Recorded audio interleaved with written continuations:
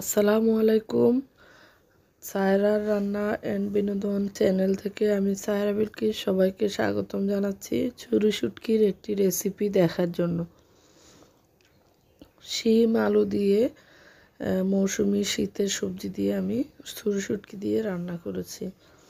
আশা করছি ভালো লাগবে। প্রথমে প্যানের মধ্যে আমি তেল দিয়ে দিয়েছি, সয়াবিন তেল, আধা কাপ পরিমাণ। ছুরি শুটকি ভালো করে সিদ্ধ পানি দিয়ে কয়েকবার করে ধুয়ে নিয়েছি। কেটে শুটকি ভালো করে না ধুলে বালু থাকে, সাগরের বালু থাকে, ভালো করে পরিষ্কার করতে হয়, সাত আটবার করে ধুয়ে নিতে হয়। এখন তেলে শুটকিগুলো একটু ভেজে নিব। শুটকিগুলোতে প্রথমে ল, একটু লবণ আর একটু হলুদ দিব। পুরো রান্নাতে আমাদের মরিচ লাগছে, দেড় টেবিল চামচ। ধনিয়া ও জিরার গুঁড়ো এক টেবিল, এক চা চামচ করে, আর লবণ লাগছে দেড় টেবিল চামচ। হলুদের গুঁড়ো লাগছে এক টেবিল চামচ। এখন আমি কিছুটা হলুদ আর কিছুটা লবণ শুটকি ভাজার মধ্যে দিয়ে দিলাম। শুটকিগুলো ভালো করে ভেজে নিলে রান্নার মধ্যে ফ্লেভারটা সুন্দর আসে। না হলে একটু আষ্টে গন্ধ থাকে। এখন আমি বাকি গুঁড়ো মশলাগুলো ঢেলে দিলাম।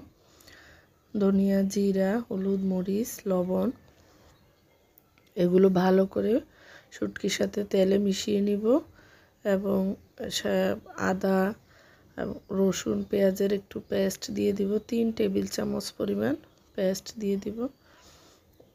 এখন ভালো করে শুটকিটা বাটা মশলা এবং গুঁড়া মশলার মধ্যে কিছুক্ষণ কষিয়ে নিব যেন ভালো করে মশলার ফ্লেভারটা ঢুকে এবং মশলার ওটা কষানোটা ভালো হয়। তারপরে আমি সবজিগুলো দিব। সবজির মধ্যে আমি নিয়েছি নতুন আলু চারটি আর আধা কেজি শিম। এগুলো ভালো করে কেটে ধুয়ে আমি স্টেনারে রেখে দিয়েছিলাম। এখন এই শুটকির সাথে এগুলো ভালো করে মিশিয়ে নিব।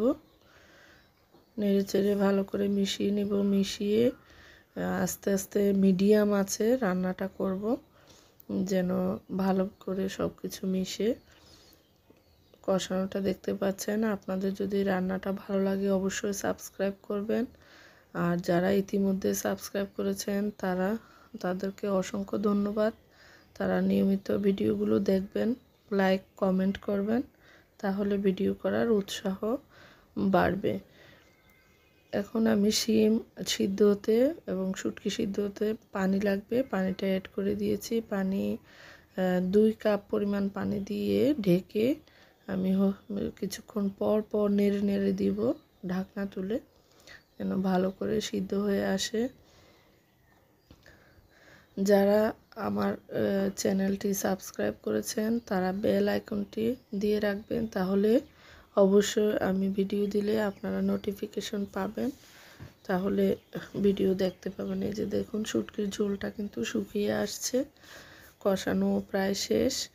শুটকিটাও নরম হয়েছে এবং শিম আলুগুলো ভালো করে সিদ্ধ হয়ে গেছে।